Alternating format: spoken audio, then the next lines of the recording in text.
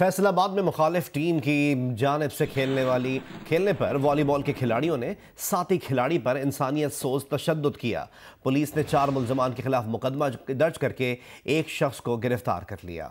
फैसलाबाद के इलाके मामू कांजन में वॉलीबॉल के खिलाड़ी फरहान ने पुलिस को दरख्वास्त दी है कि जीशान अजमल फरहान मोहसिन असरार और दो नामालूम मुलजमान ने उसे गन पॉइंट पर अगवा किया, बुरहना करके तशद किया और नाक से ज़मीन पर लकीरें भी निकलवाईं।